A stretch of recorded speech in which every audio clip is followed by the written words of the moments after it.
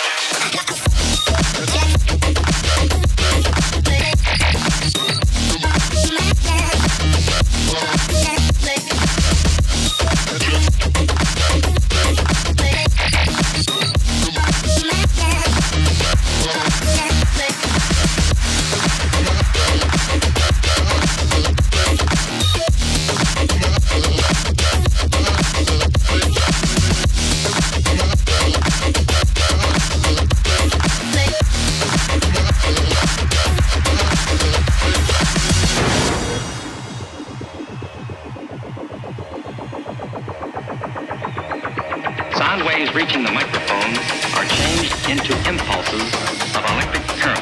No need to worry about your pre-recorded music tapes being accidentally erased. It can't happen. Well.